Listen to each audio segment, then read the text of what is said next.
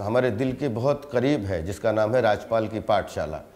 क्योंकि उसमें कोई टीचर नहीं है, कोई शिष्य नहीं है। हम सब लोगों के लिए एक ऐसा प्लेटफॉर्म है, जिसमें अपने अपने एक्सपीरियंसेस या अपने अनुभवों के साथ हम अपने आप को खुद डेवलप करके सीखें। केवल एक ही सिद्धांत है अभिनय का एक्टिंग इज़ डूइंग अभिनय एक ऐसा माध्यम है, जहाँ पर आपको 20 लोगों के सामने 50 लोगों के सामने खड़ा कर दिया जाता है और कहा जाता है, करो।